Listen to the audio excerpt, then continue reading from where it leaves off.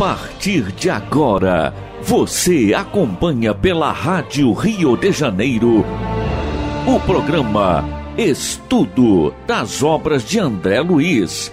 Vamos refletir agora sobre o livro Evolução em Dois Mundos. Produção e apresentação Berenice Lima e Deusa Nogueira. Queridos amigos, irmãos da Rádio de Janeiro, dando continuidade ao estudo da obra Evolução em Dois Mundos, de André Luiz, através dos médios Francisco Cândido Xavier e Valdo Vieira, estamos nós na segunda parte, no terceiro capítulo, que ele intitulou Corpo Espiritual e Volitação. E é interessante que nesse capítulo nós temos algumas perguntas, né? Precisamente oito perguntas e André Luiz foi é, respondendo, né, de acordo com essa ideia, com esse sentimento, né, ou esse conhecimento acerca da evolução. Então, capítulo terceiro, corpo espiritual e volitação. E a primeira questão é esta: podemos receber alguma informação sobre a volitação do corpo espiritual? E vamos até é, trazer um pouquinho sobre essa questão de volitação, né? É o deslocamento do corpo espiritual no meio etéreo, né? Por um processo de locomoção que dá a ideia de voo. Então a gente vê é, naquelas figuras dos anjos voando, né? Até nos filmes mesmo, a gente vê essa questão de, de volitar. Volitar. Então ele, ele, ele, ele, a gente se pergunta a André Luiz se ele pode trazer alguma informação sobre esse processo. E ele fala assim: na metamorfose dos insetos, a estólise alcança notadamente os músculos e a máquina digestiva, atingindo apenas levemente o sistema nervoso e o sistema circulatório. E aí a gente pode ver um pouquinho o que é essa questão da estólise, que é a destruição, né, ou a dissolução dos tecidos orgânicos, né? É, é isso. Então, nessa, quando na metamorfose, vamos lembrar da crisálida, da pupa, né? E da borboleta. Isso, esse fenômeno fica bem claro para a gente é, gravar a questão da metamorfose. Então, quando há essa transformação, é, o que, que, é, que é destruído? Músculo, a questão digestiva, e atinge levemente o sistema nervoso e o circulatório, quer dizer, isso permanece. E continua André Luiz efetuando o processo histolítico, segundo referências alinhadas em outra parte do nosso estudo, e nós estudamos acerca desse fenômeno já há um tempo atrás, né? É, do nosso estudo, os órgãos diferenciados voltam à posição embrionária que lhes era característica. E só então as células entram em segmentação, formando na histogênese os órgãos definitivos do inseto adulto, armado de recursos para librar na atmosfera. Né? Librar é voar, sustentar-se no ar, na atmosfera. Assim também, após a transfiguração ocorrida na morte, e lembra que num determinado momento André Luiz ele é, é, levou né, esse nosso processo da desencarnação como se fosse aquele processo de da crisálida que vira borboleta, ela voa. Ele comparou isso, né? Quer dizer, sai de uma forma mais limitada, de uma forma mais rude, para uma outra forma mais eterizada, não é? Mais é, é suave, é mais é, é mais sutil. Então ele coloca assim também, após a transfiguração ocorrida na morte, a individualidade ressurge com naturais alterações na massa muscular e no sistema digestivo mas sem maiores inovações na Constituição Geral, munindo-se de aquisições diferentes para o novo campo de equilíbrio a que se transfere, com possibilidade de condução e movimento efetivamente não sonhados, já que o pensamento contínuo e a atração nessas circunstâncias não mais encontram certas resistências peculiares ao envoltório físico. Então, é claro que a gente larga o corpo, o perispírito é quintessenciado, ele é formado de uma matéria bem mais sutil, né? E essa matéria sutil, quer dizer, a massa muscular, vai ser diferenciada, bem mais, né? O sistema digestivo também vai ser diferente, porque o tipo de alimentação, nós já vimos, é diferenciada. Mas a, a, nossa questão do sistema nervoso, né? Que está bem, bem ligado a essa nossa questão espiritual. Isso não sofre uma grande transformação. Ué, mas vai ter músculo, vai ter. Bem, é outra configuração, é outra sutileza. Ele está falando aqui em funcionamento o funcionamento ele não sofrerá grandes modificações, né? Agora, no plano espiritual, certas resistências que são comuns ao nosso corpo físico não serão mais encontradas. Não serão mais encontradas até pela diferenciação do meio de expressão. Essa diferenciação do meio de expressão é que vai é, ser o, o X da questão para a gente entender aqui. E ele coloca assim ao homem comum, na encarnação, não é fácil, todavia, a articulação de uma ideia segura com respeito às condições de seu próprio corpo espiritual, além túmulo. Porque a mente, no plano físico, está inteiramente condicionada ao trabalho específico que lhe compete realizar, inelutavelmente circunscrita aos problemas da estrutura, e por isso mesmo incapacitada para identificar o reino inteligente de raios e ondas, fluidos e energias turbilhonantes em que vive. E aí é nesse momento, é nesse ponto, meus amigos, que a frequência, a casa espírita, o conhecimento espírita e a troca das experiências da mediunidade, elas nos ajudam muito. Nos ajudam muito. Porque a gente começa a ter uma atenção maior a gente vai percebendo que eu não sinto é, é, o perfume ou o odor só pelo olfato, que eu não ouço só pelo ouvido, que eu não vejo só com os olhos. Então a gente já vai treinando identificar essa questão do perispírito, essa questão das percepções, mesmo estando encarnado. Mas de uma forma geral, conosco mesmo, gente. O nosso dia a dia é mais para trabalhar, como ele diz, as questões da estrutura. Que estrutura é essa? Da estrutura material. As questões da nossa conservação, as questões da nossa, é, da, da, do nosso movimento, da nossa manutenção da, da vida física, né? E dos relacionamentos que estão atrelados à nossa própria condição de ser encarnado. E aí, André Luiz ele responde a uma outra questão. Como entendermos a mente em si, individualizada e operante, se as células do corpo espiritual têm vida própria, como as do corpo físico? E aí ele fala: o problema é de simples orientação. Como acontece numa fábrica de largas proporções, em que a gerência, unificada em seus programas de ação, supervisiona e comanda centenas de máquinas com diversos implementos cada uma, convergindo todas as peças do serviço para fins determinados. Muito bom, né? Então é o tal comando. É o tal comando. Então, o que, é a mente, né? A mente comanda. Então, enquanto a gente está encarnada, o comando vem através do cérebro, que é essa estrutura material. Quando eu estou desencarnado, aí a, a proporção pode se alargar. Pode se alargar, porque esse comando espiritual é todo ser. Mas até que eu me, me, me é, vamos dizer assim, me aposse dessa realidade, né? Até que eu tenha, um, é, perceba os fins de serviços que me são determinados, muitas vezes demora um pouquinho ou demora um tempo maior, né? Um tempo maior ou menor, dependendo assim do meu conhecimento, do meu sentimento, da minha do meu posicionamento diante da vida.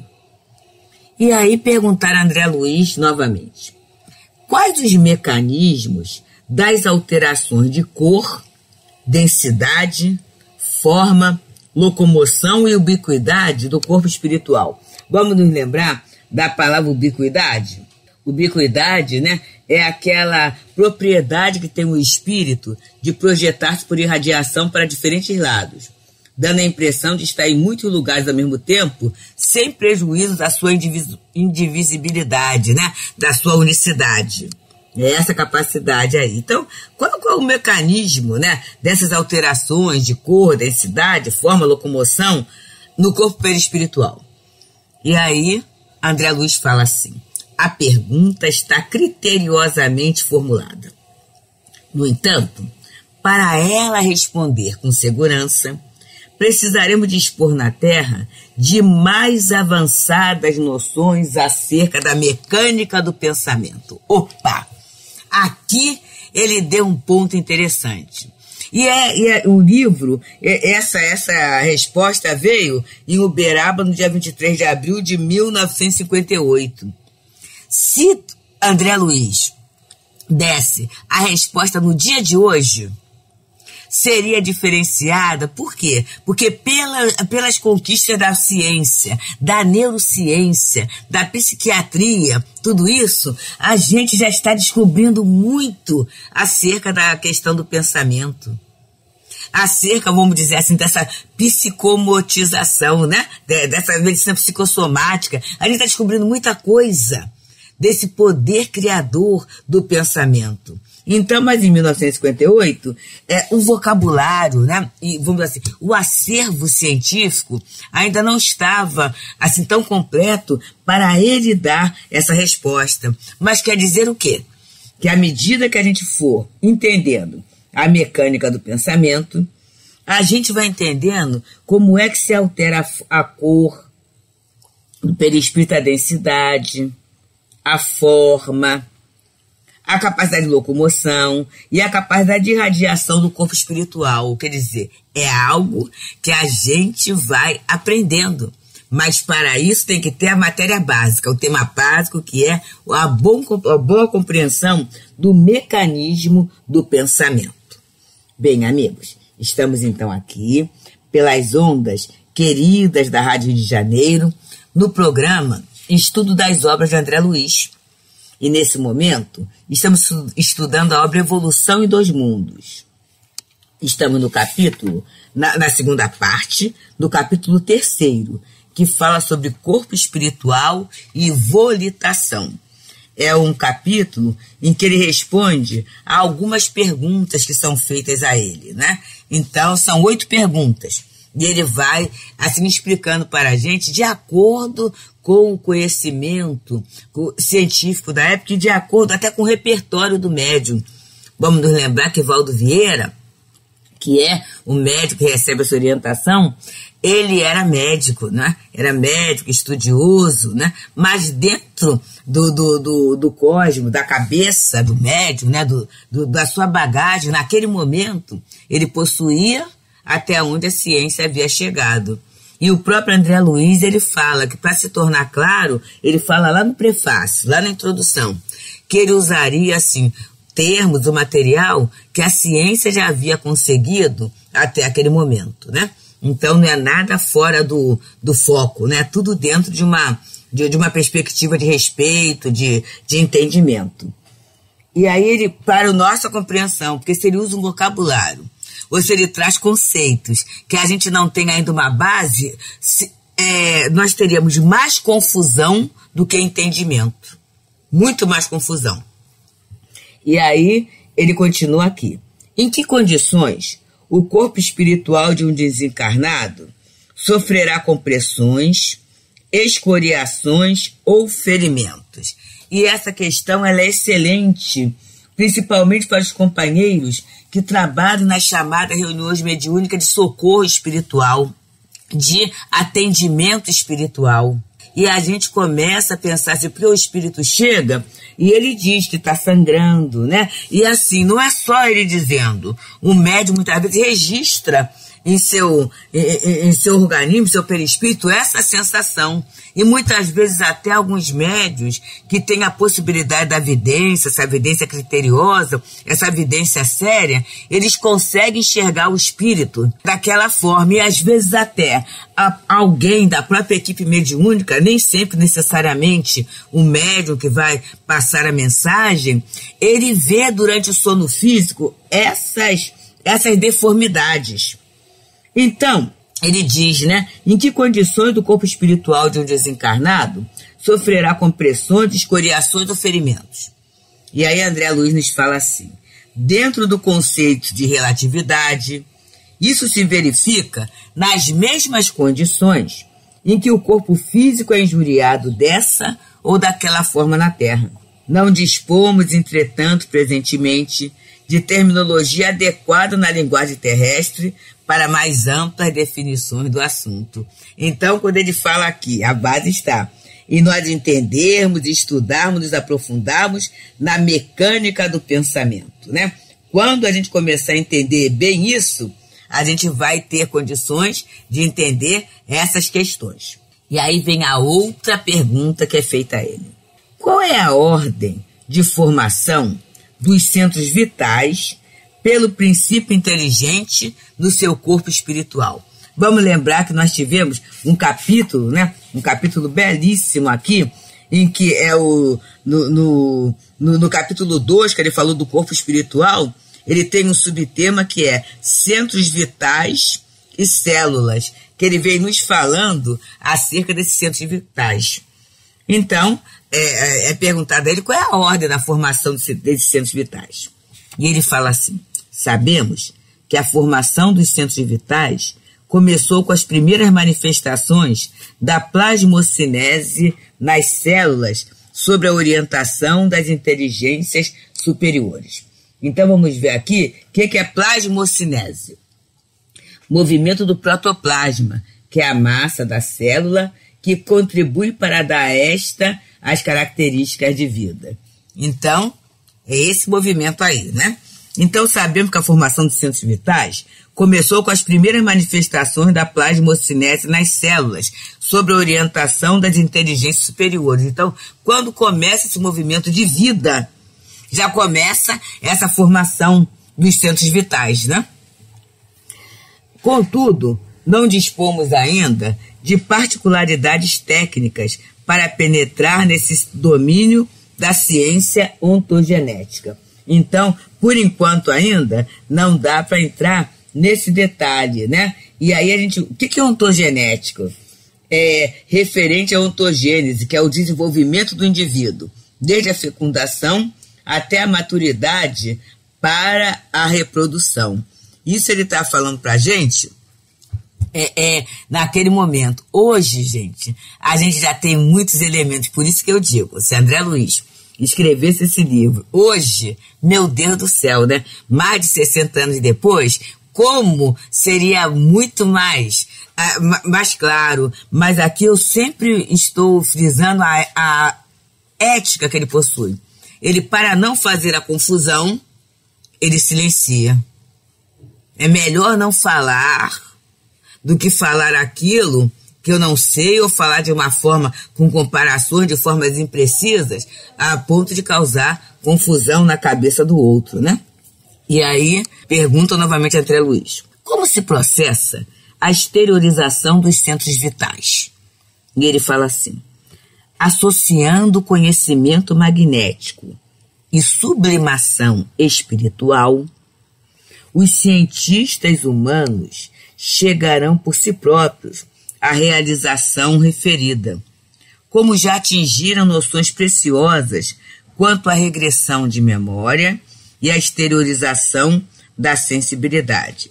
Então, para a gente saber essa questão da exteriorização dos centros vitais, né, que na verdade daria para nós a compreensão da aquisição até de doenças e da aquisição até de cura através de processo do passe, através de processos terapêuticos, ele fala que a gente vai ter que associar o conhecimento magnético, mas não é só conhecer magnetismo, não. Também nos sublimarmos espiritualmente. Por quê? É um conhecimento muito sério.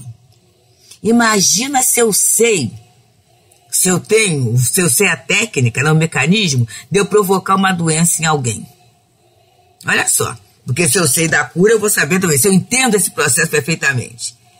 A gente sabe que nesse nosso nível ainda de de, de, de perfectibilidade, né? não somos perfeitos, a gente tem muitos desafios, muitos duelos, muitas inimizades, muitas vezes, muito desentendimento. A gente muitas vezes, por outro pensar diferente, a gente acaba vendo como o inimigo E essa visão nossa, né, é, pode fazer com que eu ainda não bem use o do conhecimento. Daí a necessidade da sublimação espiritual.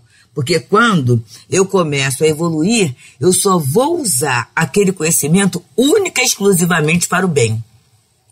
E aí eu posso ter. E a gente vê Jesus, né, magnificamente, a gente vê, além de Jesus, outros espíritos missionários que puderam fazer, que sabiam fazer, que atuavam com conhecimento de causa, com consciência. Por quê? Pela própria condição de sublimação espiritual. Jamais eles usariam do, do seu poder, que esse poder é o conhecimento magnético, né? Para é, o prejuízo de alguém. Então é tudo certo, é tudo no momento certo. E aí a gente começa a perceber assim, que a gente estude, que a gente se aprimore, vai nos ajudar muito. Mas que a gente não se esqueça de passear nos campos da bondade, da boa vontade, do entendimento, da indulgência, da tolerância, da fraternidade. E perguntam a André Luiz assim agora, na penúltima pergunta. Qual a importância da relação existente entre o baço e o centro esplênico, se o baço pode ser extirpado sem maiores prejuízos à continuação da existência do encarnado? Isso é bem interessante, né? E aí ele fala assim: compreendamos que a extirpação do baço em sua expressão física no corpo carnal, não significa a anulação desse órgão no corpo espiritual.